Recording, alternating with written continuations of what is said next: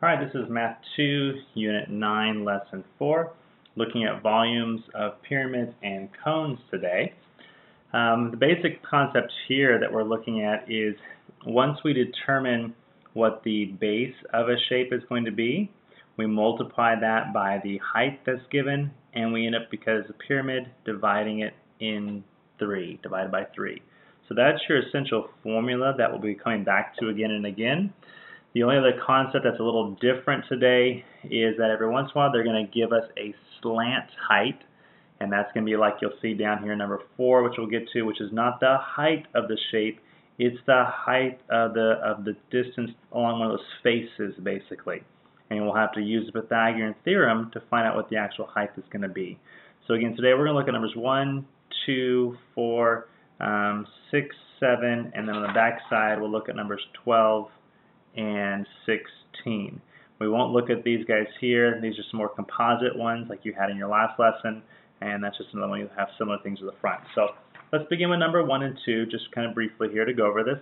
All right, so with number 1, um, we use our formula 1 third times the base. The area of the base, this is a square, is 15 by 15. So 15 times 15 times the overall height, which is given here at 10, and I just simply multiply that out, and 1 third times 15 times 15 times 10 is 750 centimeters cubed.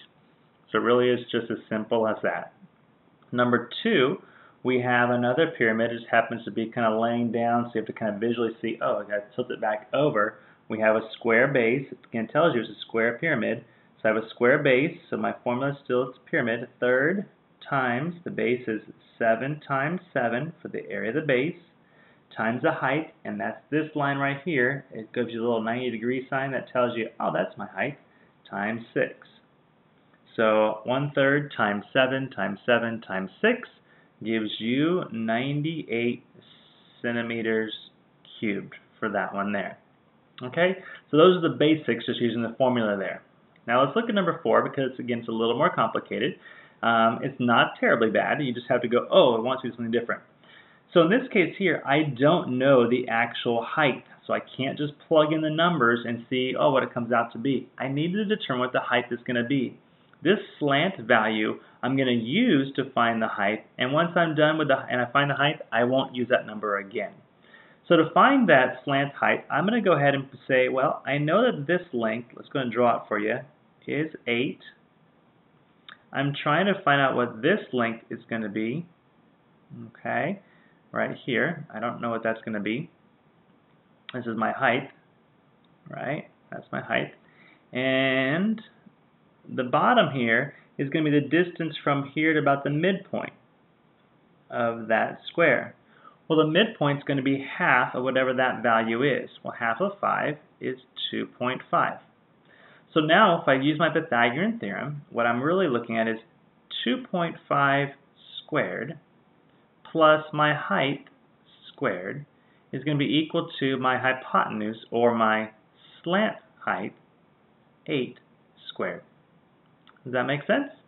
So that's what I'm looking at. I'm looking at the distance here of my little base, which is from the midpoint to the end, half of the length, squared plus my height squared, which is what I'm trying to find out. I don't know what that's going to be yet. I don't have one here. Equals 8 squared. So 2.5 squared is 6.25 plus 8 squared equals 64. When I subtract 6.25 from both sides, I have 8 squared equals 57.75 if I take the square root of both sides to get the h by itself, h is going to be equal to 7.6. So now I have an actual height to work with, and I go back to the same formula I used above, which will be 1 third, sorry, 1 third times the base, which is 5 times 5, 5 times 5, times the height, which I now know is 7.6. When I multiply all that together, 1 third times 5 times 5 times the height. This is my base here, my height here, right? that's going to be equal to 63 meters cubed. Okay, so one extra step using the Pythagorean theorem to find out what the missing height value was going to be. Let's look at a word problem just quickly while we're here. Looking at number 6, it says the base of a pyramid is a square, 14 centimeters on a side. The height is 25. Find the volume. This is just a simple formula thing. One third times the base. The base value of the area of the base is 14 times 14 because it's a square times the height 25. And when you use a calculator, plug that in, up at 1,633 centimeters cubed.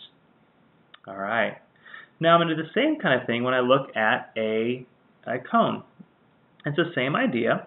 I'm going to now have one third, and my base this time is the area of a circle.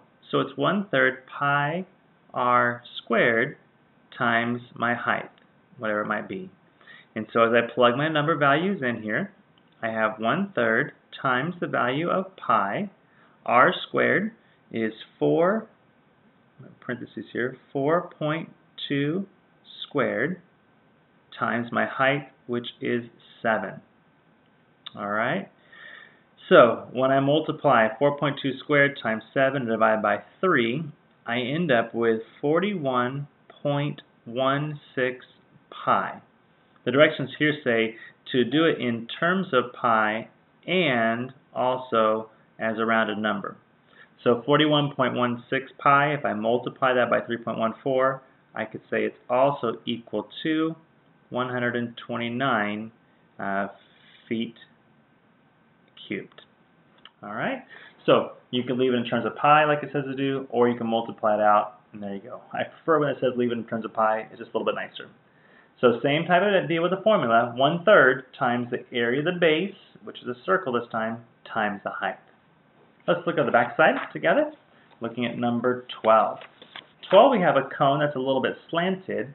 The thing that makes it still an, an easier one to solve is that even though it's slanted, they gave you the value of the actual height with this dotted line and the 90 degree angle. So it's not too bad.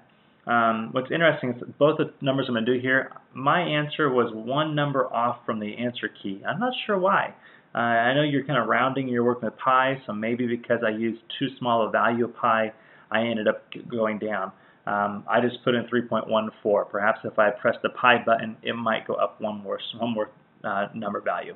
Not a big deal. All right, so here's my formula. I have one third times, this is a circle on the bottom, pi times the radius squared times the height. And again, it's probably the big height that we look at there.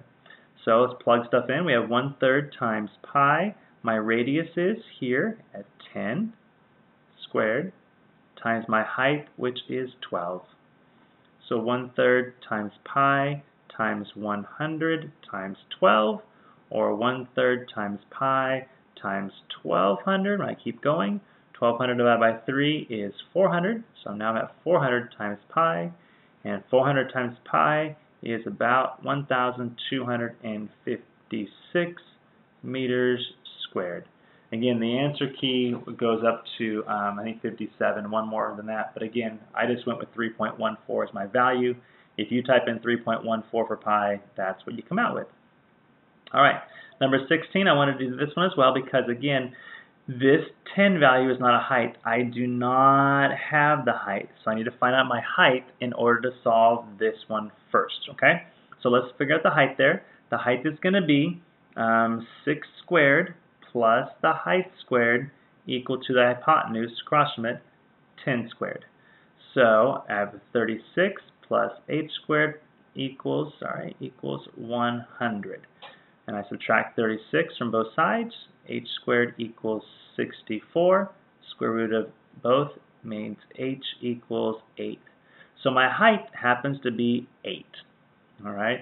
You might have noticed that it basically is a 3, 4, 5 triangle, except everything is doubled. So if you caught that early, it saves you a whole bunch of steps, doesn't it? So it's a 3, 4, 5 triangle doubled up. Now I use my formula for 1 third times pi r squared times my height. And in this case here, 1 third times pi r is 6 squared times the height we just found out was 8. And we're down to 1 third times pi times 36 times 8. And when you multiply all that out and multiply by pi, you end up with 301. I get about 301.4. You, the book, I think, says 302. You get the idea. 301, 302, and it doesn't tell us what they are, so it'd be units cubed for the answer there.